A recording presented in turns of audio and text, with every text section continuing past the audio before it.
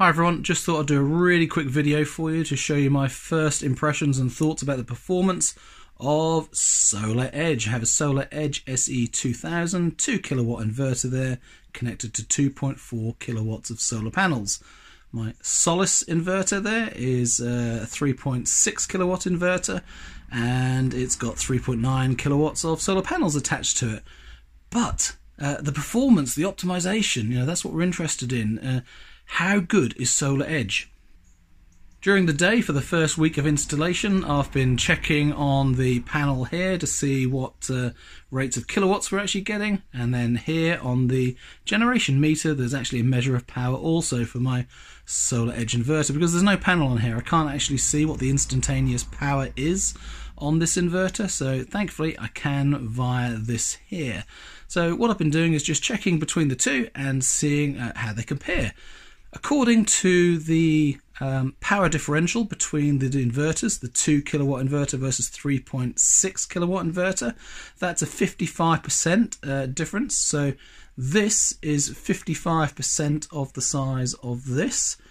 If I compare the actual panels connected to the two inverters, then 3.9 kilowatts versus 2.4 kilowatts, we're talking 61%. So 61% max power should be coming through there. Worst case scenario, based on clipping at both ends, 55%. So what are we actually getting? And this will amaze you, I think. Okay, so this is my Solis inverter currently. Let's just make sure we've got a nice uh, period of time where it's going to display it because it keeps rotating. And there you can see 1160, 1180, it fluctuates, 1140, it's fluctuating a fair amount. And there we go, 1194, 1200. So if I quickly nip down here and have a look at what the solar edge is producing, 1232. Uh, but it's not fluctuating anywhere near as much. It's, if I can just get a nice steady view of it, it's nice and steady in its power output. But 1230. And up here still, 1200. So the amazing thing is, uh, the Solis inverter with 3.9 kilowatts of solar panels is not producing as much electricity as the Solar Edge with only 2.4 kilowatts. How is that possible? And that can only be optimization. Um, what other issues have I got potentially um, impacting that? Well, there, there's scaffolding up. So is one of the scaffolding panels poles um, covering some of the panels?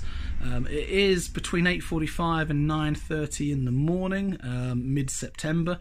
So the sun is very low to my left-hand side. The panels are completely south-facing. So with the sun rising, it's it's uninterrupted. There's no shading from trees. Um, it's an uninterrupted countryside view, and the sun is well up here on the where's my finger? The solar edge they're in pairs of two panels. So every two panels has its own power rating and it's optimized independently. So if some are really bright and some are shaded then uh, you are getting that optimized and you're getting the peak power of the ones that are bright. Whereas on the Solis you don't actually get that. My observations so far are that first thing in the morning when the Solis is only producing say 30 60 watts of electricity uh, the solar edge is producing nothing. So in very dull light, um, it's not doing as well. I noticed that yesterday we had a very cloudy day. It was very dark grey, raining a lot of the day, and basically the percentage of the solar edge was down to 50 to 55%. So it wasn't performing very well at all. But on sunny days, it seems to outperform those percentages of 55 and 61% and on average I'm getting high 60s. But there are points in time of the day, as I was just explaining now, when the sun's first coming up and we're getting some nice bright sunshine at a low shallow angle. The solar edge is outperforming the Solis, and that's what I'm finding incredible. So I've had quite a few um, questions about my configuration and it's some of the obvious things, you know, how on earth do you connect two arrays, two inverters uh, onto a single system? And yeah, when I was thinking about adding a second array, uh, those were the same questions that I was considering. So let me talk you through the configuration as I understand it as a layperson, not as a qualified electrician. So these, these black cables here, they're the power cables that are coming from the solar panels. So you can see those coming from the roof and uh, the ones in the flexible cable there, they are the ones that go to the solar edge inverter. So if we follow the line, you can see it comes across and goes up and under into the solar edge, up here somewhere. And then the uh, power cables here wherever we are. There, there, there for all the uh, existing array that goes down into the conduit and then up out of the conduit and into the Solis inverter.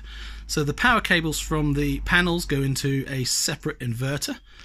From the Solar Edge inverter, I come down to this box, which is a lovely, neat combination of an isolation switch, a generation meter, so I'm independently tracking the generation from those panels, and uh, obviously the RCBO. Over here, uh, the Eon installation for the Solis inverter, got a much larger uh, generation meter, much larger isolation switch, and then the RCBO is in here. So uh, the installation that I've just had with the Solar Edge combines this item, this item, and this item all into one very nice, neat package. But because of the way my garage and electrics is laid out, the output power from the Solar Edge can come along the same conduit as the Solis, up into the same box here, using a separate breaker, completely isolated, but then joining the mains up here on the same physical cable. And yet, just above there, you can see the CT clip for my Zappi charger.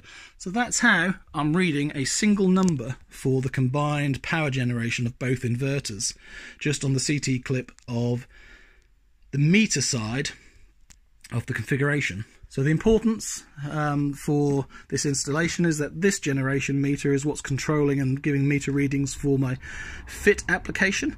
So I can't change that and I can't change any of the panels and any of the configuration that comes in through here into the Solis inverter. But I can add a completely separate inverter here to completely separate panels that come down, completely separate power, completely separately isolated, uh, and a separate generation meter and that's uh, how it works, how it's connected. And yes, the Eddi device is down here as well, all nicely, neatly cabled in. What else can I tell you on the Solar Edge inverter? This is the extended version, not the basic version, so I have an aerial and I have a comms board inside, and that gives me some data analysis. On the Solis side, I have a uh, data stick here, again, Wi-Fi, and that's sending the data through to my broadband router and then out to China so I can view it online. So there you go. There's my configuration. There's the system. And uh, the performance I'm currently getting, quite good. I am very, very impressed with Solar Edge.